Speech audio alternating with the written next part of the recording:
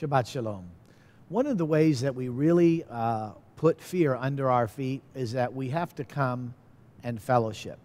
David says it this way in Psalms 34 and, and 3. He says, Oh, magnify the Lord with me, with me. Oh, let's magnify the Lord with me.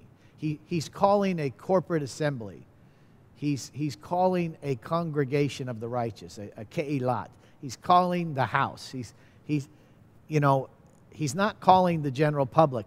He's calling those of humble spirit, those who, those who have a hunger in them, and they say, Let's worship him in spirit and truth. Those who have made the word of God as a light unto their feet and a lamp unto their path.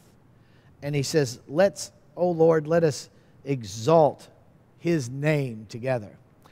Um, uh, I, I, don't know how I, I can say this. I, I would not be free. I would not be in the place I'm at with the Lord in the freedom from the spirit of fear if it wasn't for twice a week I'm either in House of David or I'm someplace where we are magnifying the Lord together. There, there's something, and it's so amazing because we go to different countries and we'll be singing in a language I have no idea, but I know that they are magnifying the Lord. There's, there's something about the, the numbers magnifying the, the Lord, and it makes the name of God real. There's something that happens in the soul. Our souls are, are you know, if one could put a thousand to flight, two, ten thousand.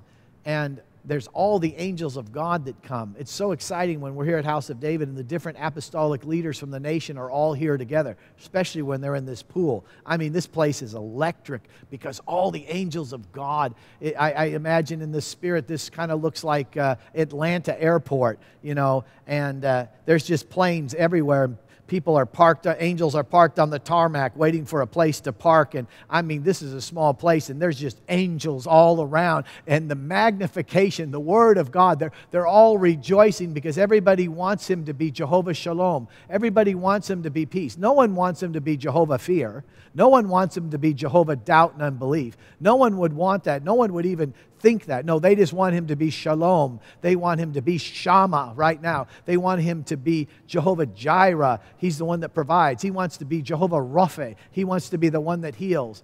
And, and everyone is agreeing with this. And as we sing the songs of the Lord and we worship together, it's magnified. You can't do that on your own. You need that magnification of the power of God. So, Father God, I break every assignment of the fear of assembly.